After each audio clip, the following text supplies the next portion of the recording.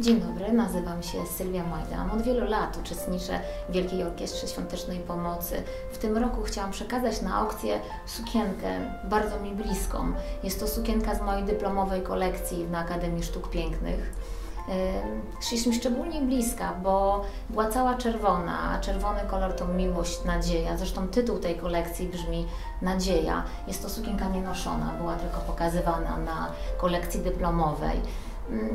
Chciałam Państwu powiedzieć, że czasami warto się podzielić sercem, energią, żeby komuś pomóc. Także zapraszam serdecznie do licytowania i do aukcji. Dziękuję.